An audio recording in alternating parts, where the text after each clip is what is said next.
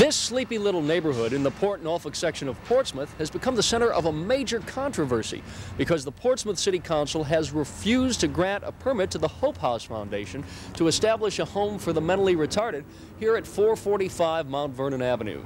Oh, that's good. That's... The welcome mat may be out, but retarded adults are not welcome in this neighborhood.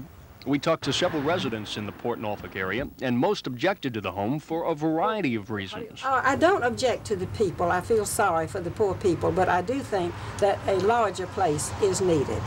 I think it's, you know, uh, not a good idea to force it on the people out here if they don't want it. I don't want it. You don't want it? No, I have a child that I have to run the streets.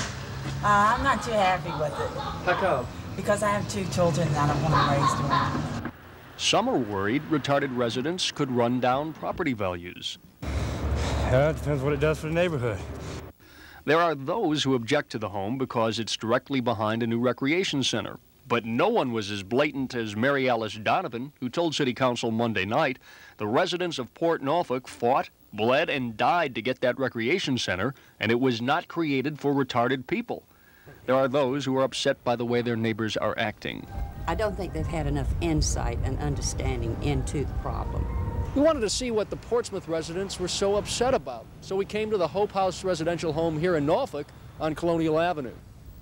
What we found were residents like Martha Mering, who is getting ready to leave for her job as a housekeeper and babysitter, and Joe Krinsky and Marvin Pope, who are trying to learn enough skills to move out and into a supervised apartment of their own. I really in, enjoy what I'm doing because someday I hope I go into an apartment, and I'm looking forward to that day. Hope House supervisor Lynn Siegel was still in a state of disbelief. I was very shocked last night. We also found hurt from adults who, although retarded, still want to be productive members of society.